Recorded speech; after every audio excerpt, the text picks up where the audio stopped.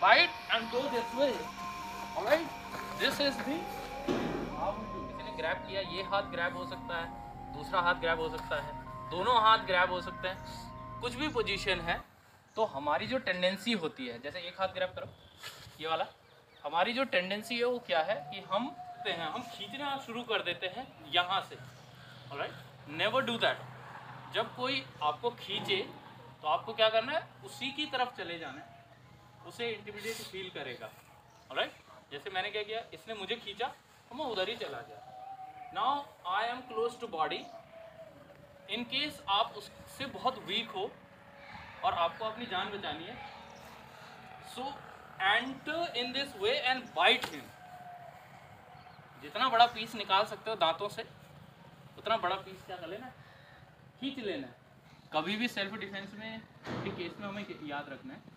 कि हमें क्या नहीं करना पूरी बॉडी से फाइट नहीं करना किसी एक लिम को उठाओ, कोई भी हाथ, पैर, जो चीज़ आती है एंड फाइट विद दैट अब मुझे ये मिला है यहाँ पे।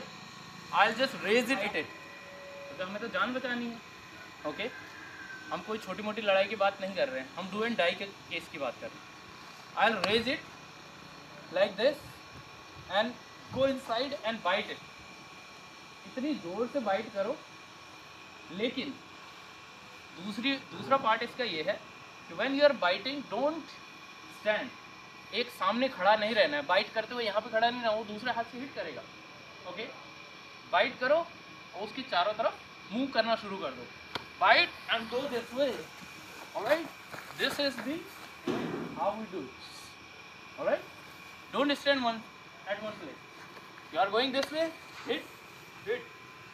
यहाँ हिट किया हिट किया बाइट किया देन मूव इट अब क्योंकि तुम लोग सीख भी रहे हो so you can go this way you can take figure four अगर फिगर फोर आता है तो can bring him on ground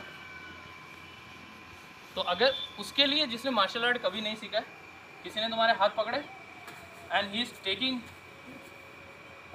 taking you somewhere तो जाओ, अंदर ही चले जाओ एंड बाइट हाथ तो उसके एंगेज हैं। हाथ और पकड़ के रख लो। ओके एंड सबसे बेस्ट है बाइटिंग दांत से काटना। हिट जब उसे इंटिमिडेट फील हो फ़ोन है फ़ोन निकाल के phone hit keys ever you can hit so पहला है, one. Somebody holds, get inside. Don't pull. पहले क्या करना है? इनसाइड ही जाना है। दोनों हाथों से हिट करता है।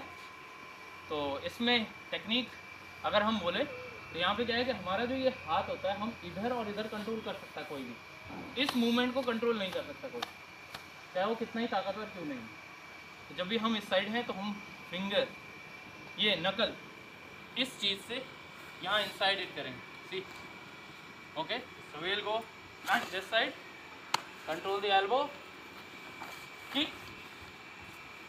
जितना लोअर किक करोगे दूसरे के लिए उतना मुश्किल हो जाता है खुद को डिफेंड करना। यहाँ हाई किक करोगे, हाथ वगैरह से पकड़ लेगा। लो किक करना शुरू कर दो। Go this side go this side go this side punch so this is your first lesson. You will, he will hold. He is holding my hand. He is pulling. अब वो पुल करेगा तो मुझे अंदर ही चले जाना। अंदर जाके, जैसे अंदर गए बाइट ये